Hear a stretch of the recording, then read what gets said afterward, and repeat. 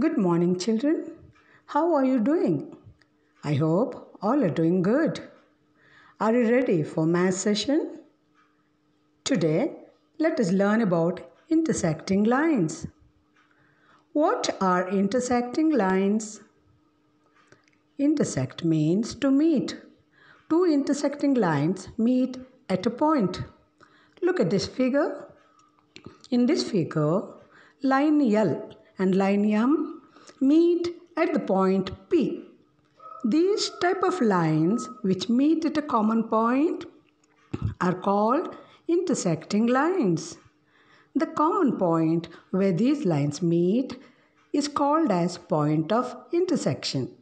Here P is the point of intersection. Children, look at this figure. Here AC and BC intersect at the point C. AC and EC also intersect at the point C. BP and CP intersect at the point P. CP and EP also intersect at the point P. Children, try to find some more points of intersecting line segments. Transversal Children, you might have seen a road crossing two or more roads or a railway line crossing several other lines. These are some of the examples for transversal. What is a transversal? A transversal is a line that cuts two or more lines at distinct points. Now look at these three lines. They do not meet each other. Here in the second figure, line P, L and M meet at a point and not at different points. Look at the third figure. Here, line P intersects lines L and M. So, what is a transversal? The transversal is a line that intersects two or more lines at distinct points. In the third figure, line P intersects line L at R and line M at S. So, line P is called as the transversal. Angles made by a transversal. Children, here lines L and M are intersected by transversal P and eight angles are formed. They are angles 1, 2, 3, 4, 5, 6, 7 and 8. These eight angles have their special names. Among these eight angles, the angles 3, 4, 5 and 6 are called interior angles.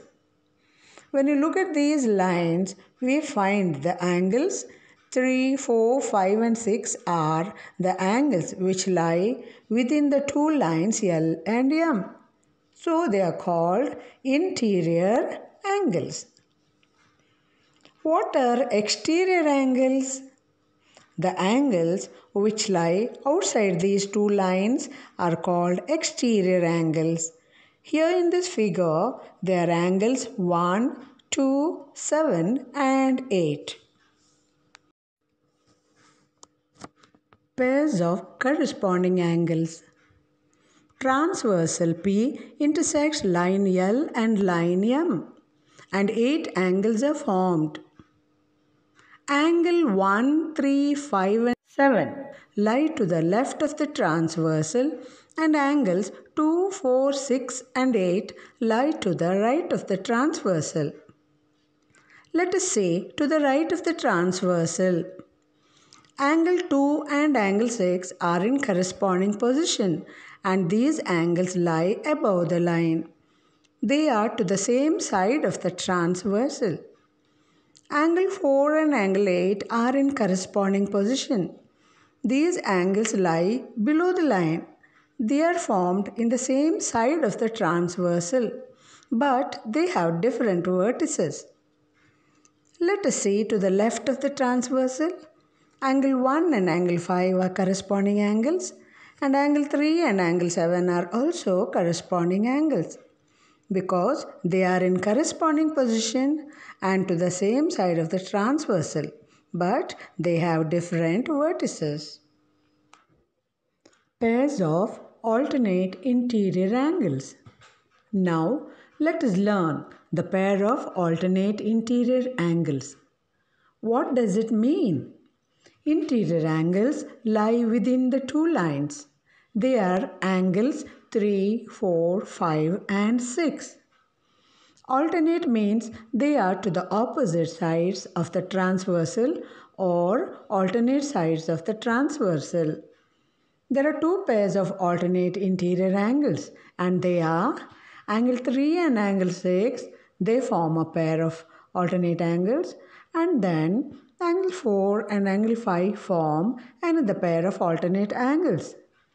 Remember, angle 3 and angle 4 are also interior angles but they are not alternate angles because alternate interior angles should have different vertices. Alternate exterior angles, angles which lie outside those two lines, L and M, are called exterior angles. Pairs of alternate exterior angles are angle 1 and angle 8, angle 2 and angle 7. Pairs of interior angles on the same side of the transversal are angle 3 and angle 5, then angle 4 and angle 6. Transversal of parallel lines. What are parallel lines? They are lines on a plane that do not meet anywhere. For example, railway track, the lines in your notebook, etc. Let us see what happens when a transversal cuts two parallel lines. First one, each pair of corresponding angles are equal. Corresponding angles are angle 1 equals to angle 5, angle 2 equals to angle 6, angle 3 equals to angle 7, angle 4 equals to angle 8. Second, each pair of alternate interior angles are equal. Angle 3 equals to angle 6 and angle 4 equals to angle 5. Third, each pair of interior angles on the same side of the transversal are supplementary. Angle 3 plus angle 5 equals to 180 degrees. Angle 4 plus angle 6 equals to 180 degrees. These are the properties of parallel lines when a transversal intersects them. Let us work out the following sum. State the property. If A is parallel to B, then angle 1 is equal to angle 5 because they are a pair of corresponding angles. Second, if Angle 4 is equal to angle 6 then A is parallel to B because they are a pair of alternate interior angles. Third, if angle 4 plus angle 5 is equal to 180 degree then A is parallel to B because they are interior angles on the same side of the transversal and the sum is 180 degrees. In the adjoining figure, identify first the pair of corresponding angles. The corresponding angles are angle 4 equals to angle 8 and angle 1 equals to angle 5, angle 3 equals to angle 7 and angle 2 equals to angle 6. Second, the pair of alternate interior angles are angle 3 and angle 5 and angle 2 and angle 8. Third, the pairs of interior angles on the same side of the transversal. Angle 3 plus angle 8 is equal to 180 degree. Angle 2 plus angle 5 is equal to 180 degree.